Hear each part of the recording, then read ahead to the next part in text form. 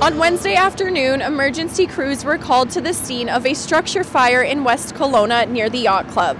According to Fire Chief Jason Brolund, the building, which is a former packing house, was set to be demolished later today.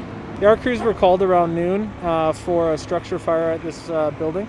Uh, when they arrived, it was fully involved uh, in fire, and our firefighting effort was defensive, which means we fight the fire from outside of the building only. So crews were actually on scene. They intended to demolish uh, the building uh, today, actually, which is you know somewhat ironic that it it met its fate, but just in a different way.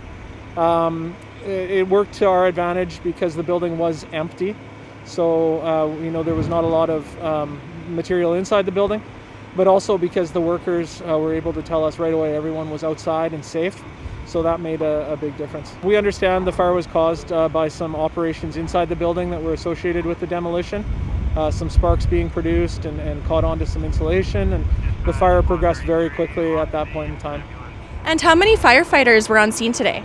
So we have just over 20 firefighters uh, that are here. We have five uh, fire trucks, including our ladder truck here, that is uh, operating, and um, we now are, are seeing that demolition actually finally happen, uh, they're getting in there and knocking it down, and we'll get the rest of the fire out.